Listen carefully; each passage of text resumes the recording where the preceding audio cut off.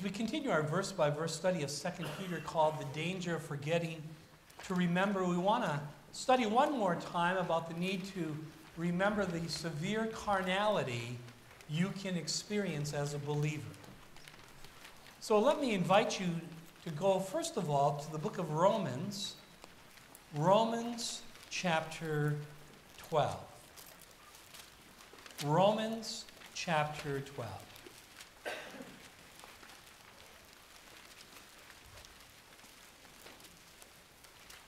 Though the Bible is filled with many positive and encouraging promises from God that are great and precious, it is also replete with many negative warnings and even examples of the consequences of sin and false teaching. And through the Word of God, God has spoken and He has not stuttered in revealing His truth to us. And keep in mind that God has given us His Word not to scintillate our intellect or to satisfy our curiosity, but to transform our destinies and then our lives by knowing the truth, believing the truth, getting established in the truth, and then remembering the truth that we know. And thus far in our study of 2 Peter chapter 1, we've observed four key truths God wants you to remember and know. Number one, we've noticed that God wants you to remember the Savior you've trusted the Lord Jesus Christ. Secondly, God wants you to remember your spiritual blessings by His grace as He's given you all things that pertain to life and godliness. Thirdly, God wants you to remember the spiritual growth you can enjoy as He wants us to diligently walk by faith and allow Him to build into our life moral qualities that reflect the Lord Jesus Christ and spiritual fruitfulness, including good works. And then, fourthly, he wants us to remember the severe carnality you can experience. And regarding this warning about severe carnality and its potential consequences in our life, Peter states in 2 Peter chapter 1 verse 9, "For he who lacks these things, these moral quality and fruitful works, is short-sighted, even to blindness, and has forgotten that he was cleansed from his old sins. And keep in mind, this does not describe an unbeliever, but a believer. Because only a believer has been cleansed from his sins. And that a believer can become short sighted, nearsighted. The Greek word literally is the word in which we get myopia. And not only short sighted, even to blindness, totally lose his eternal perspective, having forgotten that he was cleansed from his old sins. So, dear fellow believers, what does a, a, a, consistently carnal believer forget? They forget the forgiveness. The forgiveness that is theirs in Christ. And the objective of that is not only to go to heaven, but it's to become holy, for God is holy.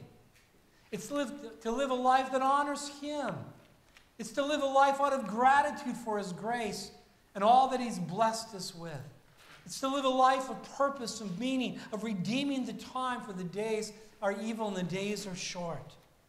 And so, believer, don't squander your resources in Christ by walking after the flesh instead of walking by the Spirit. Don't waste your opportunities to spiritually grow and to serve the Lord. Don't lose your eternal perspective and spiritual eyesight by living for yourself according to human viewpoint instead of living for Jesus Christ in light of the Word of God. You see, the purpose of justification is to result in sanctification on our way to glorification. Otherwise, God would take you home immediately upon trusting Christ as your Savior. And to illustrate the reality of the severe carnality of believer, who fails to grow spiritually can experience, we've been observing the life of an Old Testament believer by the name of Samson, a he man with a she weakness. First, we noted Samson's potential, how he had a great purpose for living. He was a, a Nazarite from his mother's womb and separated for God's service. God's plan was to use him to begin to deliver Israel from the bondage of the Philistines who had had them in captivity for some 40 years. And in the same way, you as a believer have a great purpose to glorify God and to be an ambassador for Jesus Christ with a home in heaven, but representing your Savior here on earth. As you shine as lights in, a, in the midst of a crooked and perverse nation, holding forth the word of life. Samson had a great purpose for living. Secondly, we noted that he had a godly set of parents. They were not perfect parents, but they were spiritually responsive parents who were praying parents. And they were a minority in those days of apostasy in Israel. Parents, are you training up your children in the nurture and admonition of the Lord? Thirdly, he had a personal relationship with the Lord. Samson was a believer. He was a man of faith, though he was not a faithful man. By the way, is that true of you? See, there's no potential for spiritual success until you, first of all, are born again, until you become a child of God by God's grace alone, through faith alone, in Christ alone, apart from law, works, and ritual. Samson was saved. He was justified before God. And not only that, but fourthly, he had the enabling power of the Holy Spirit. And while the Holy Spirit regenerated every Old Testament believer in the Lord, imputing to them, or imparting to them, I should say, a new nature and spiritual life, when they were justified by faith alone, the Holy Spirit would only selectively come upon certain believers for a period of time under the law to enable them to do the will of God, usually in a very special way. And this is very different than in our present dispensation of grace, when all believers are indwelt and sealed and baptized by the Holy Spirit at the moment of salvation, so they then can be taught and enabled by the Holy Spirit to fulfill the will of God. But with all this spiritual potential, Samson had some serious problems. And we saw in our last study five of his problems, which we all need to hear and heed lest we experience the tragic consequences of sin in our lives.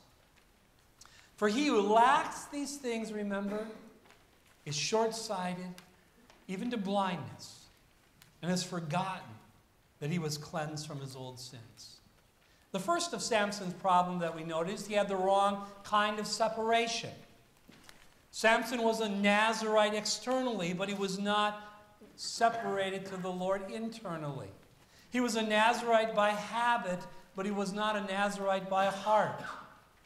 He was a man of faith, but he was not a faithful man. He had the Holy Spirit, but he walked normally after the flesh. He had a position of separation to God as a Nazarite, but he failed to have a personal separation as unto the Lord in his Christian or in his, in his personal walk. And this is like so many believers today. For you as a believer have three spiritual enemies. You have the flesh inside of you, you have the world system outside of you, and you have Satan, who is the God of that world system. And all three of these work in collusion in order to seek to defeat you as a believer and hinder your walk and hinder your growth and hinder your fruitfulness and hinder your service to the Lord. And though you have legally and positionally died in Christ to all of these enemies,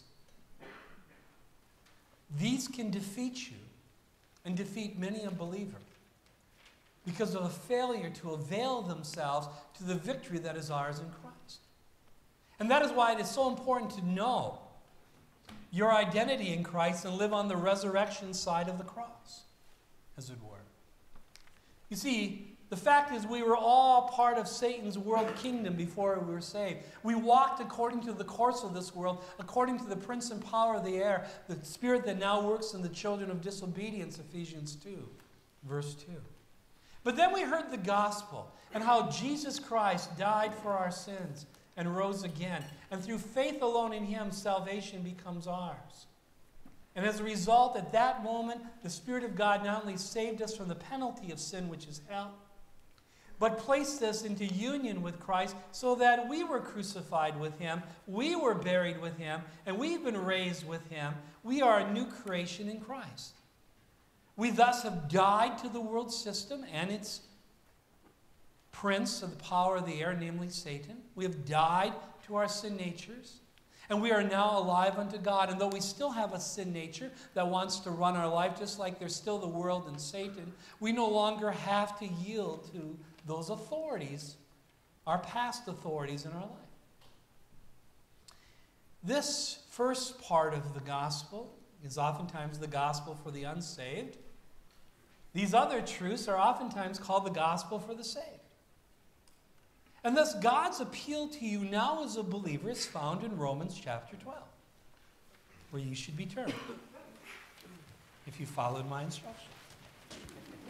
Verse 1 I beseech you, therefore, brethren, by the mercies of God, that you present your bodies a living sacrifice, holy, acceptable to God, which is your reasonable service. And do not be conformed to this world, but be transformed by the renewing of your mind that you may prove what is that good and acceptable and perfect will of God.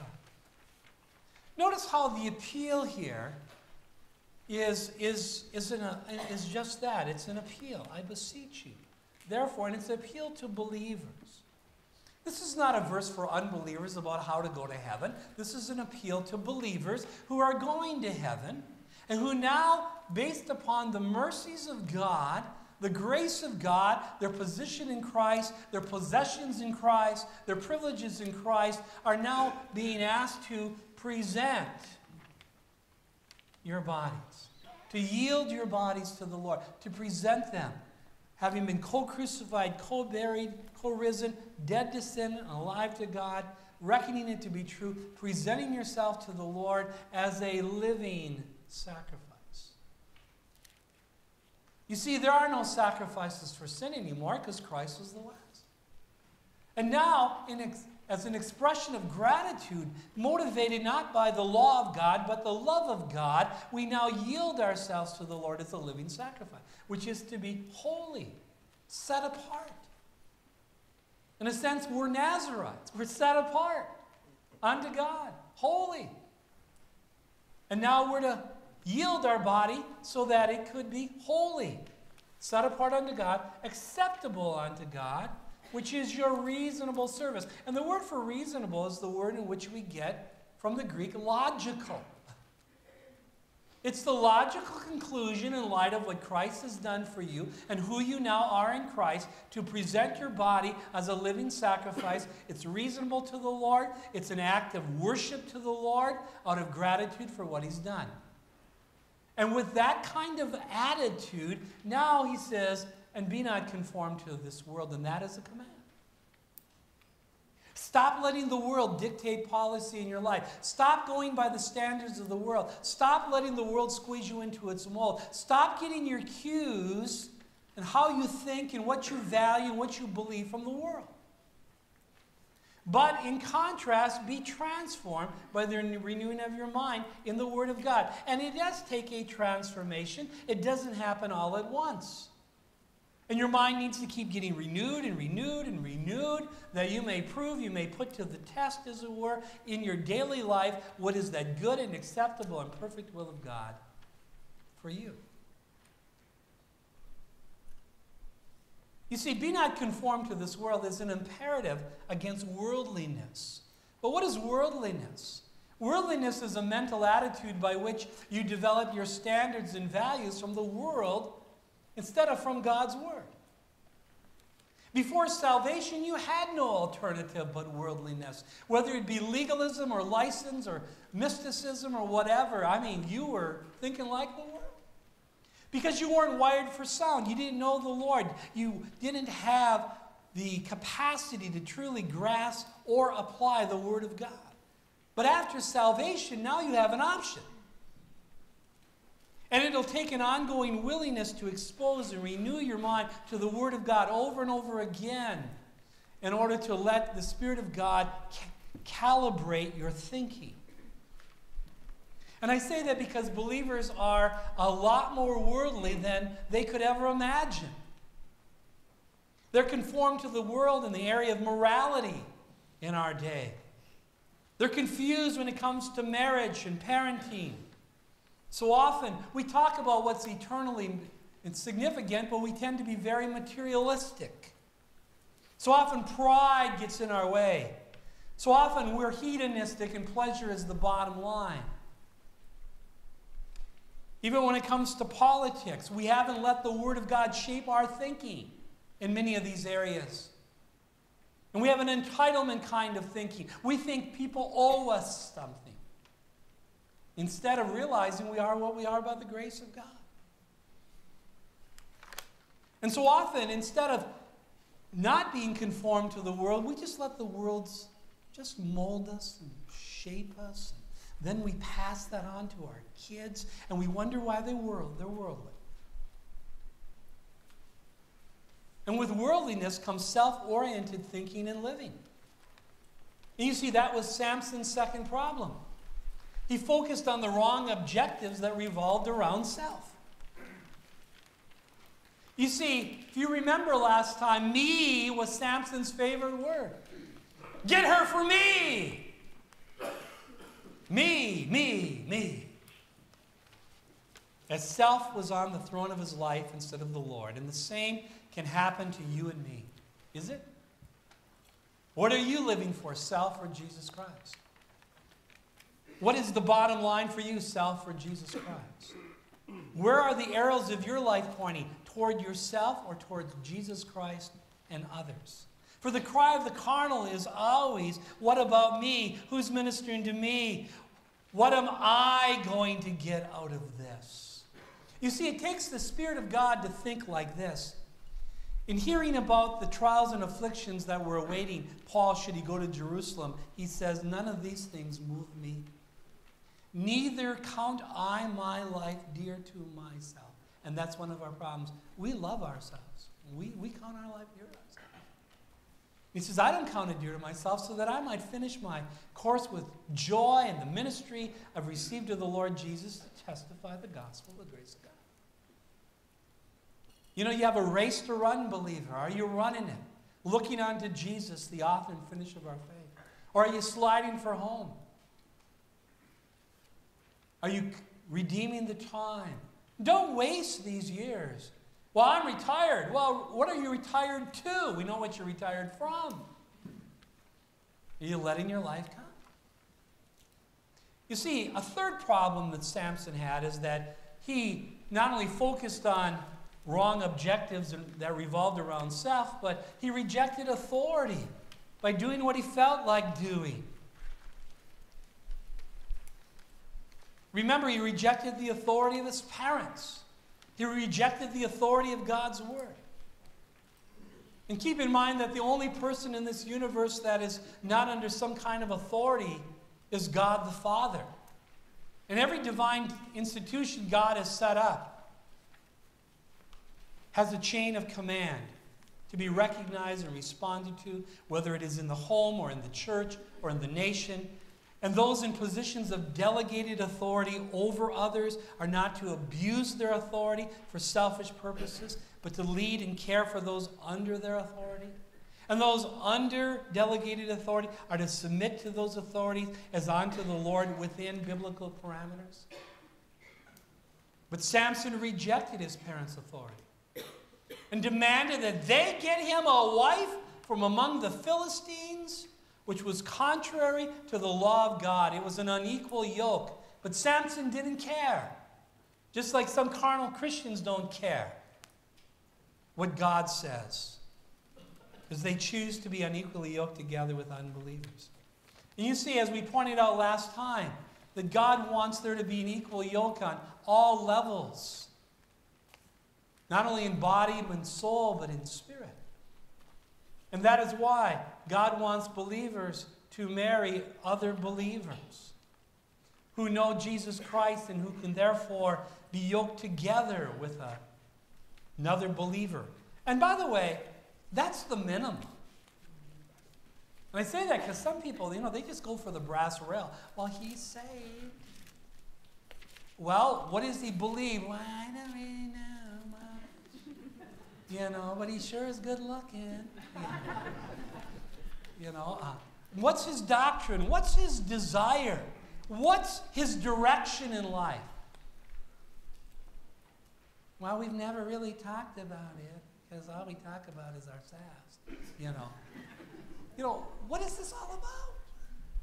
I'll tell you, there's no greater joy than to find a believer as a mate who's walking with the Lord, growing in the Lord, wanting to serve the Lord just like you are, if that's true of you. And I say that because sometimes I laugh. I hear of believers, you, you know, they, they've got, you know, Mary, let's see, I've got a list.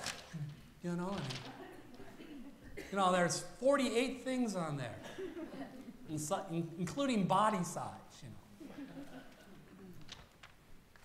Can't seem to find. Well, how many uh, spiritual things are on there? Well, not too much. Are they saved?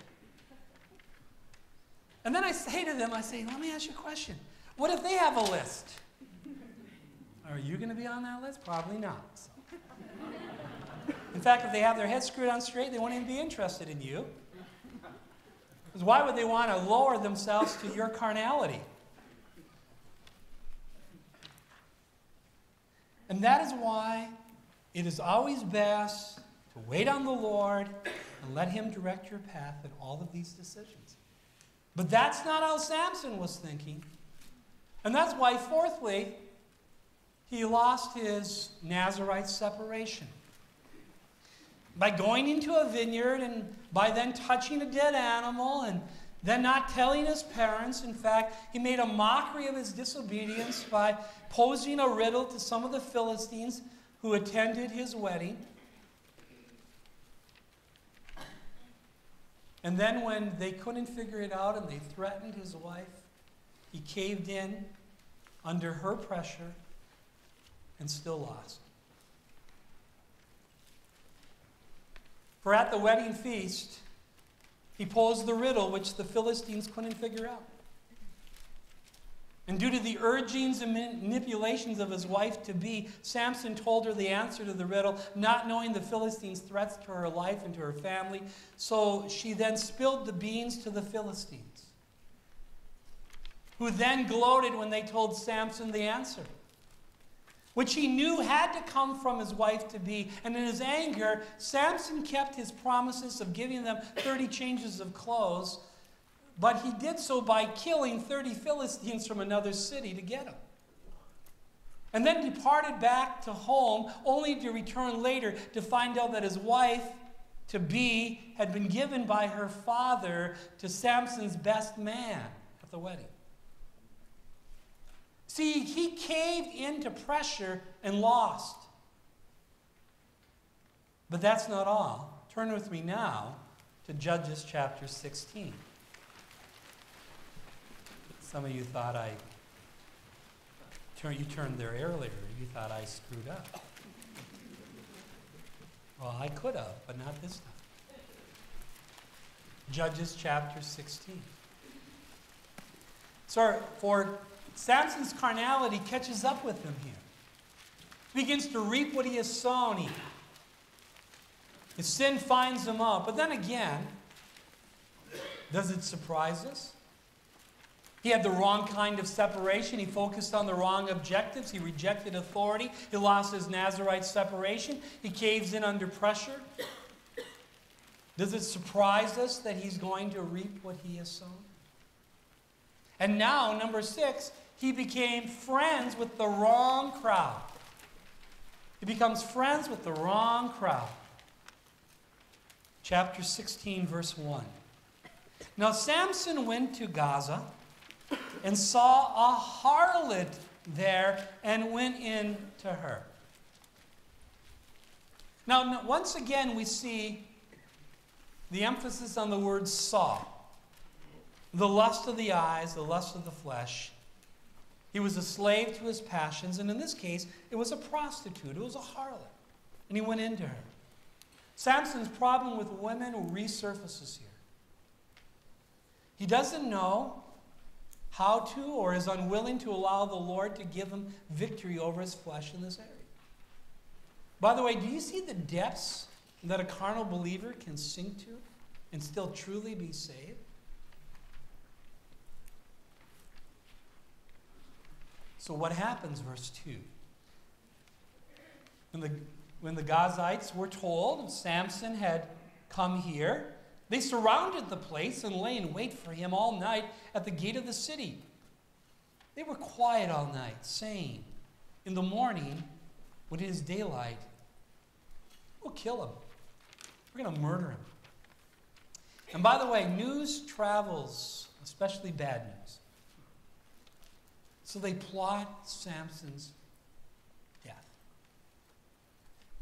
Samson, what are you doing there? And yet God is gracious to him, for verse 3 tells us. And Samson lay low till midnight. Then he arose at midnight, took hold of the doors of the gate of the city and the two gateposts, pulled them up, bar and all put them on his shoulders, and carried them to the top of the hill that faces Hebron.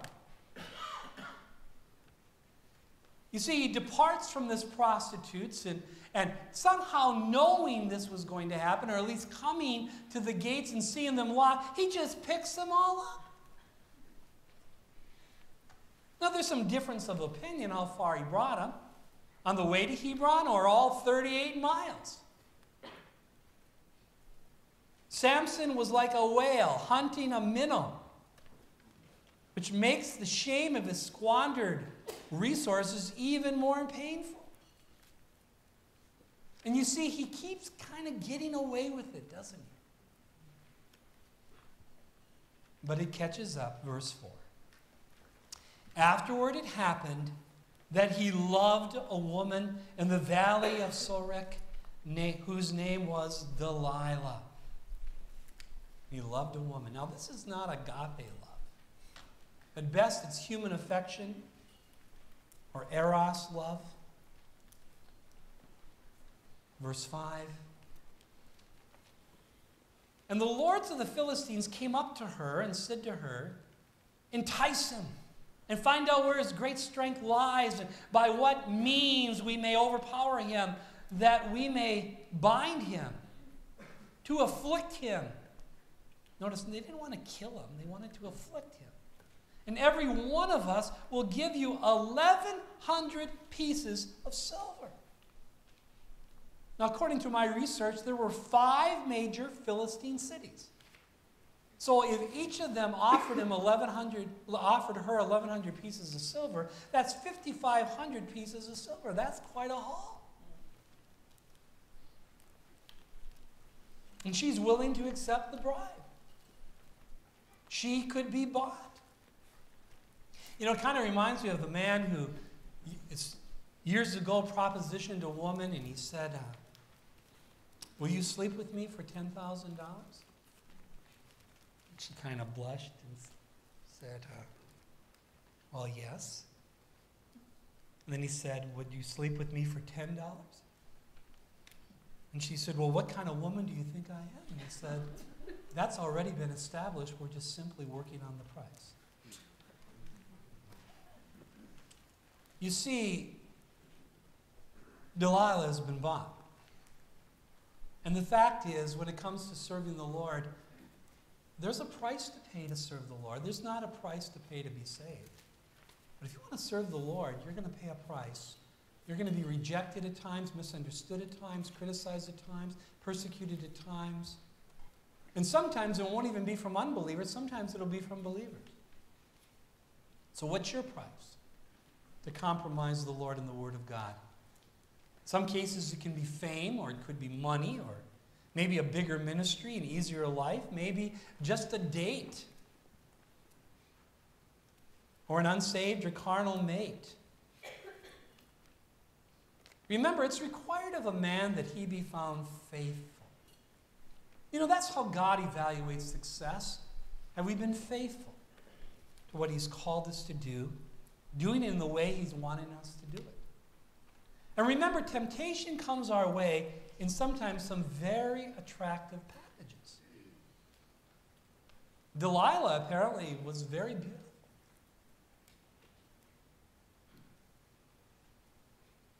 But I think of the fact how bad company corrupts good morals. And so what happens?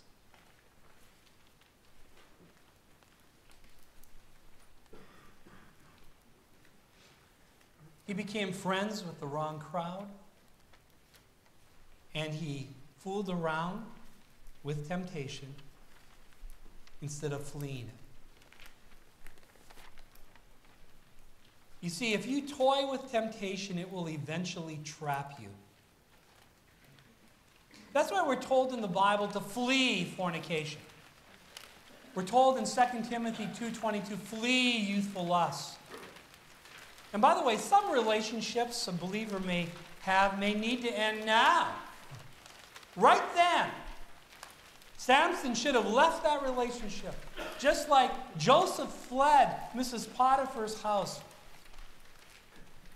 And by the way, someone could have said, Samson, if your wife, if you felt free to call your wife a heifer, which he did earlier, you are a donkey to not flee the situation immediately. And sometimes we can play the donkey. I'm using a nice word today. When we are arrogant and stubborn and we justify what we're doing. And that's what he's doing, verse 6. So Delilah said to Samson, Please, and I'm sure she did this with honey dripping. Please tell me where your great strength lies and with what you may be bound to afflict you. I mean, what kind of question is that? Please tell me how I can tie you up. I mean, uh, duh.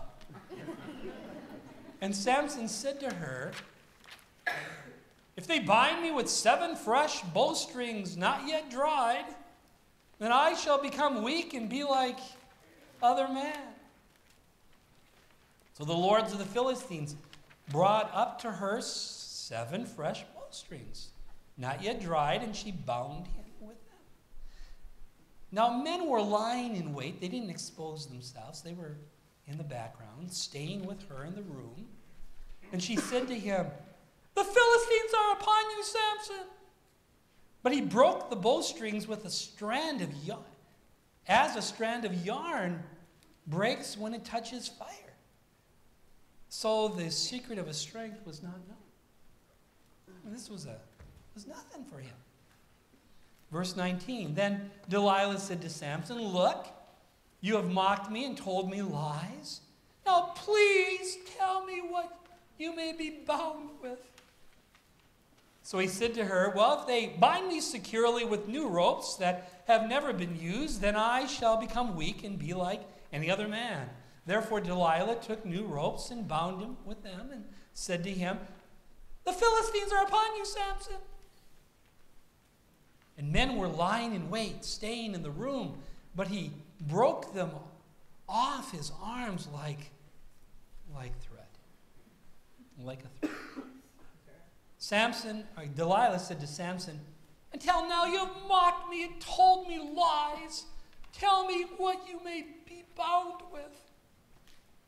And he said to her, If you weave the seven locks of my head into the web of the loom, so she wove it tightly with the batten of the loom and said to him, The Philistines are upon you, Samson.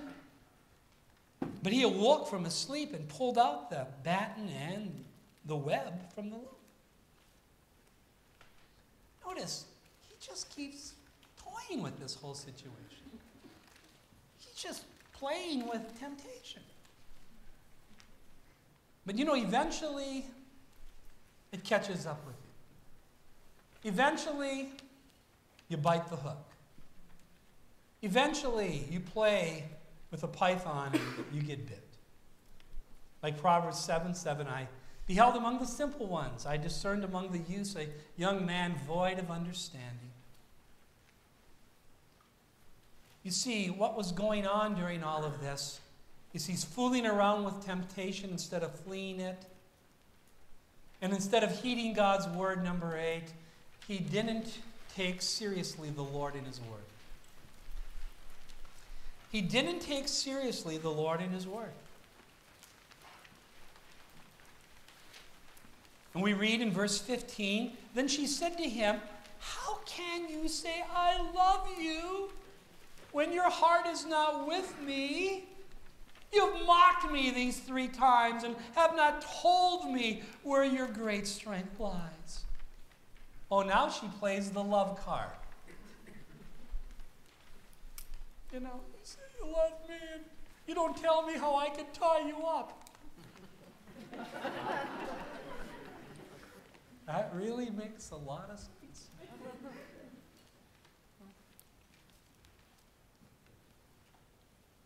And I say that because sometimes people use the quote love card to get sexual favors. You know, if you love me, you'll let me. When in reality, if you were loving me right now, you would do what's best for me as unto the Lord and not even ask. Verse 16. It came to pass when she pestered him daily with her words and pressed him when I'm talking about his shirt, so that his soul was vexed to death. Now, that is a verse and a half. She pestered him daily with her words.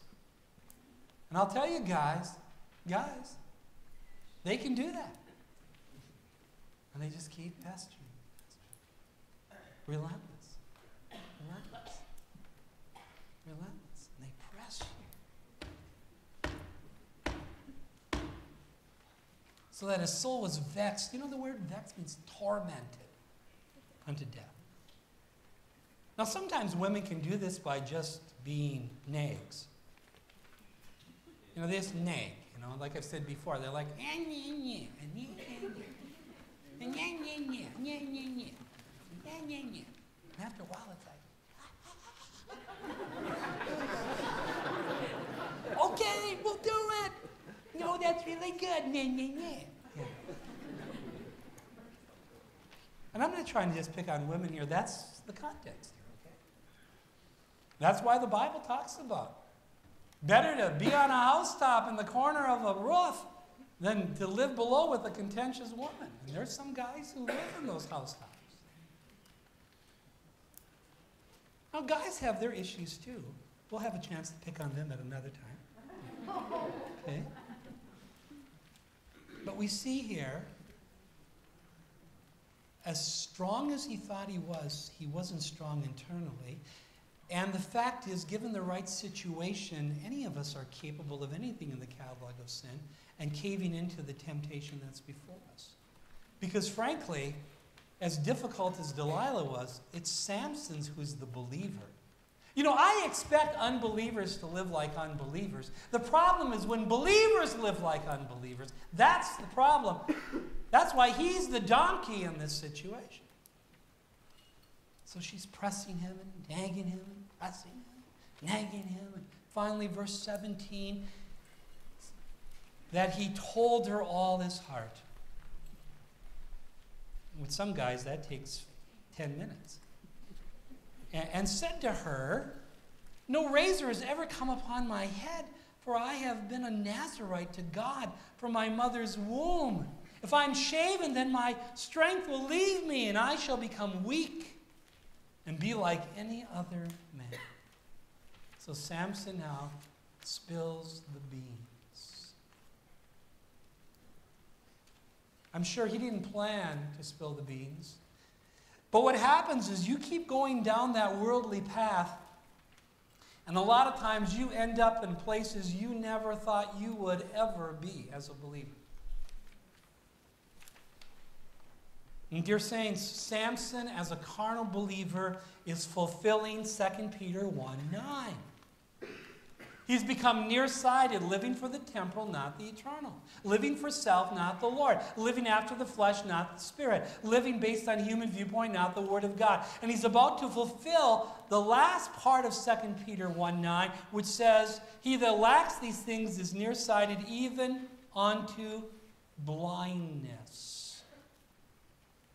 So we read in verse 18 When Delilah saw that he had told her all his heart, she sent and called for the lords of the Philistines, because they apparently had left, saying, Come up once more, for he has told me all his heart. So the lords of the Philistines came up to her and brought the money in their hand. Then she lulled him to sleep on her knees, called for a man, and had him shave off the seven locks of his head. Now, seven is the number of completion. Not just seven, but completely. That's the idea. Then she began to torment him, and his strength left him. And she said, The Philistines are upon you, Samson. So he awoke from his sleep and said, I will go out as before at other times and shake myself free. But he did not know that the Lord had departed from him. Then the Philistines took him, put out his eyes, brought him down to Gaza. They bound him with bronze fetters, and he became a grinder in the prison.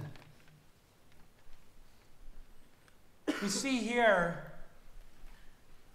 problem number nine. He's, he lost sight of where his real strength was due to his self confidence. You know, when he said, The strength is in my hair, that's a half truth.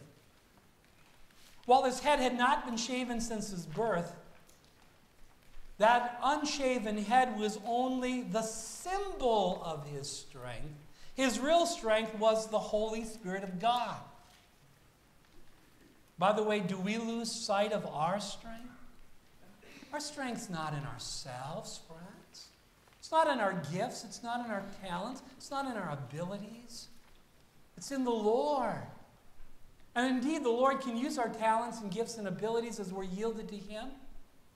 But we're not sufficient of ourselves to think anything as being from ourselves. Our sufficiency comes from God. Our strength isn't in our church, though God uses local churches for many godly purposes. Our strength isn't even in prayer, but in who we are praying to. It's not just in reading the Bible, but in believing and applying the Word of God as we rely on the Lord. And because he lost sight of where his real strength was, due to his self confidence, he then Number 10, with his head having been shaven,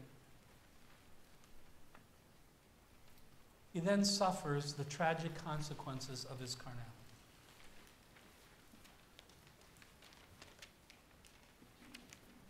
He is blinded and he is made a grinder.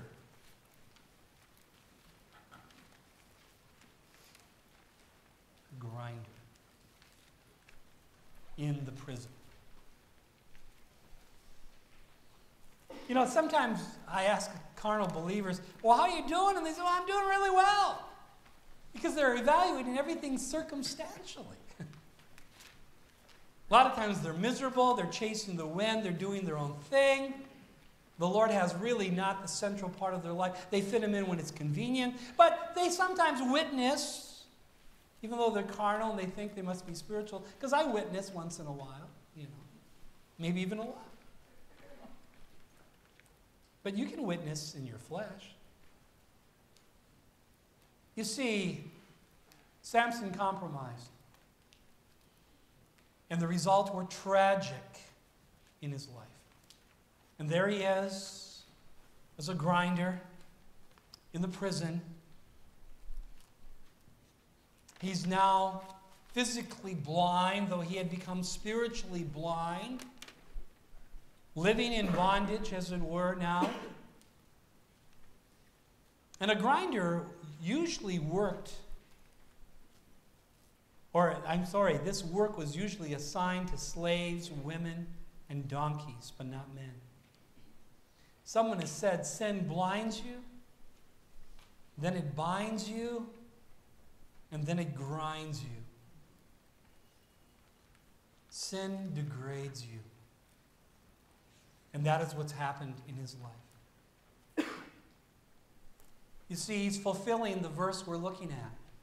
For he who lacks these things is short sighted, even to blindness, and has forgotten that he was cleansed from his old sins. Now, how does all of this apply to you? First of all, regarding separation, we must understand the importance of being set apart as unto the Lord in order to be properly separated from the world.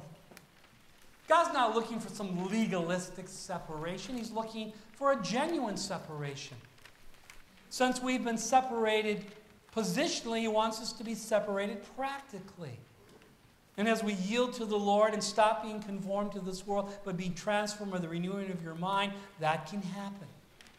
And that's why we're warned in 1 John 2 Love not the world, neither the things that are in the world. For all that is in the world is the lust of the flesh, the lust of the eyes, and the pride of life. And this is not of the Father, it's of the world. And the world is passing away in the lust thereof. But he who does the will of God abides forever. Tell me, what kind of separation do you have? Are you different than the world? Or are you beating after the things of the world? Are you conformed to the world? Are you living for the world? Are you living for the Lord? Because you see, that's the second thing we learned from our story today.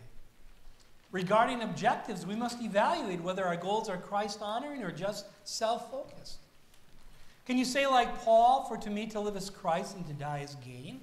Can you ask the Lord to bless your endeavors because they are done for Jesus Christ and not self?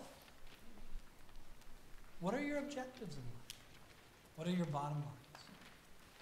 Thirdly, we've learned regarding authority that we must learn to submit as unto the Lord to the authorities that God places over us and not and if we are an authority, to not abuse our delegated authority for selfish purposes instead of serving others.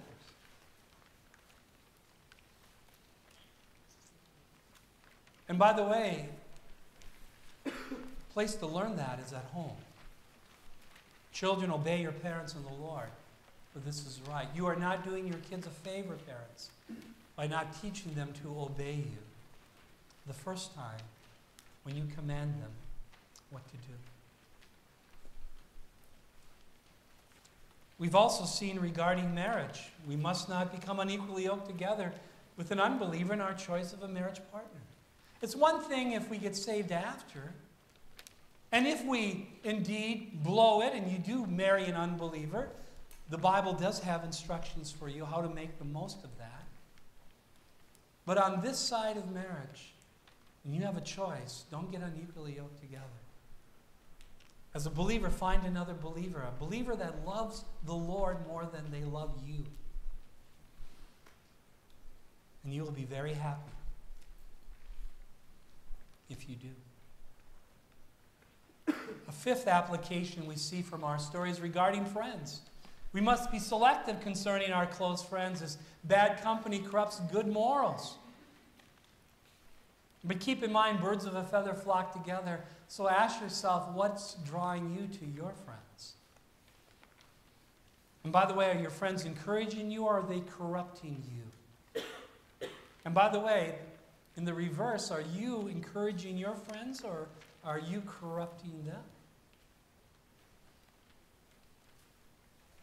We've seen in our story today regarding temptation, we must learn to resist and flee from it through the power of God's word and spirit or suffer the severe consequences of our carnality. We're to flee youthful lust. We're to walk in the spirit so we don't fulfill the lust of the. We're to put on the Lord Jesus Christ and do not make provision for the flesh to fulfill the lust thereof. If you play with fire, you're going to get burned. But number seven, we've learned regarding failure,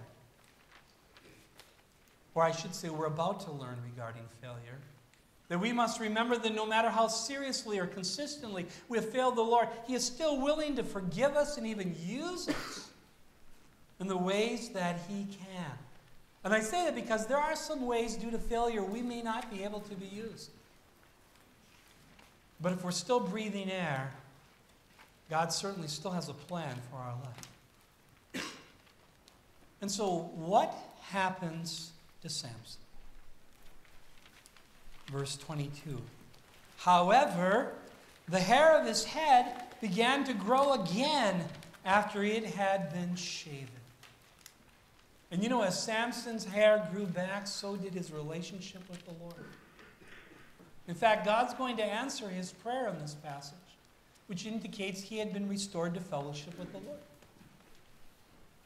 Verse 23 Now the lords of the Philistines gathered together to offer a great sacrifice to Dagon, their God, and to rejoice. You see, Dagon was their God. He was, it was a pagan idol with the head of a man and the body of a fish. And the Philistines viewed military victories due to their gods and defeats as well. And so they're having this worship service, as it were, to their God. And what a better way to do it than put on display one of their great captures, namely Samson. Verse 23 goes on to say, And they said, Our God has delivered into our hands Samson, our enemy. And when the people saw him, they praised their God. Well, they had a praise worship to Dagon. For they said, Our God is delivered into our hands, our enemy, the destroyer of our land, and the one who multiplied our dead. And so they recognized, as it were, falsely, that their God had given them victory. The fact is, their God was, was no God. It was God who was disciplining the children of Israel. That caused God to allow them to have this temporary victory. Verse 27 So it happened when their hearts were merry that they said, Call for Samson that he may perform or entertain for us. So they called for Samson from the prison and he performed for them. And I don't know what he did. He's blind. You know, he, he'd been grinding away, as it were. I don't know. Doesn't tell us what he did, but apparently he performed, he entertained for them. And then they stationed him between the pillars. Verse 26. Then Samson said to the lad who held him by the hand, because he was blind, needed to be led around, Let me feel the pillars which support the temple, so that I can lean on them. I can lean on them.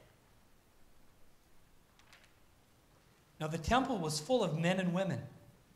All the lords of the Philistines were there, about 3,000 men and women, 3,000 on the roof watching while Samson performed.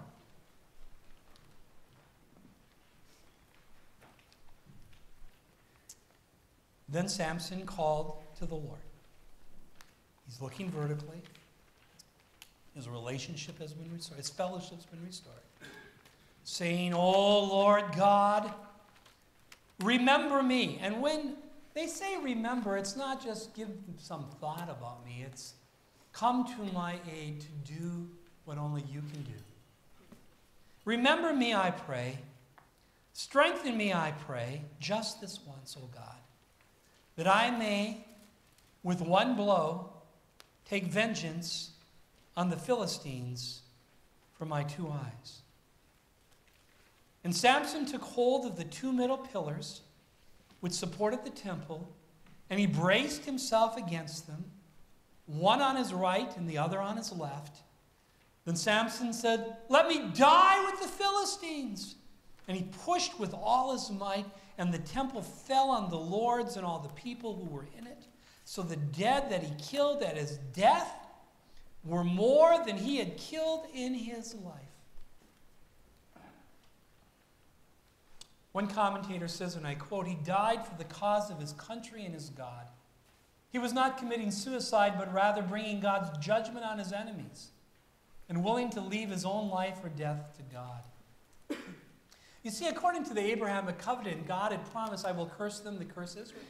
I will bless them that bless Israel. The Philistines were cursing Israel, and therefore they get cursed.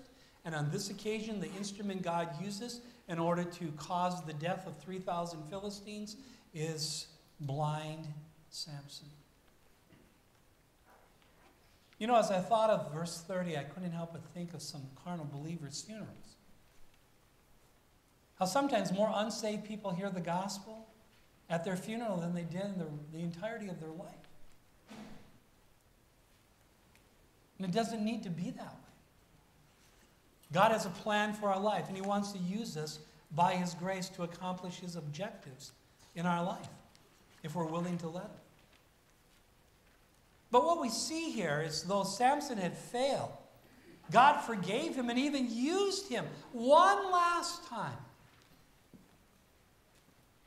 You see, this act of faith began the deliverance that God would provide for Israel from the Philistines. And that is why, regardless of how much you have failed, God is willing to forgive you. And God is even willing to use you if, if you are willing to let Him. In fact, as I think of this, you know, God was so gracious with Samson that the Holy Spirit directed the writer of the book of Hebrews to include Samson, of all people, in the Hall of Fame of Faith. You see, at the end of Hebrews 11, we read this And what more shall I say? For the time would fail me to tell of Gideon and, and Barak and Samson. Samson? Samson. And Jephthah also, David and Samuel and the prophets who through faith subdued kingdoms, worked righteousness, obtained promises, stopped the mouth of lions, quenched the violence of fire, escaped the edge of the sword, out of weakness were made strong. There's Samson. Became valiant in battle, turned to flight the armies of the aliens. Women received their dead raised to life again. Samson is mentioned in the Hall of Fame of Faith. You know why? Because he was a man of faith, though he wasn't a faithful man. And God was still willing, amidst his failures, to forgive him and even use him. And God isn't through with you yet either. Regardless of how much you may have failed or not failed in your Christian life, God isn't through with you yet. You're still breathing air. You can still walk in fellowship with the Lord. You can still grow. You can still serve the Lord in what ways you can. There's still opportunities to glorify God and serve Jesus Christ as you walk by faith. Are you willing to turn to Him?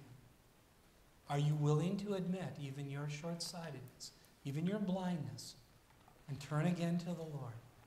For if we confess our sins, he is faithful and just to forgive us our sins and to cleanse us from all unrighteousness.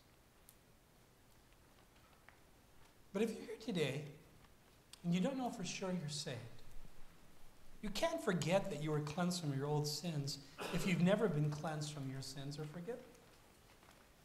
And the Bible tells us in Jesus Christ we have redemption through his blood, the forgiveness of sins, in accordance with the riches of God's grace.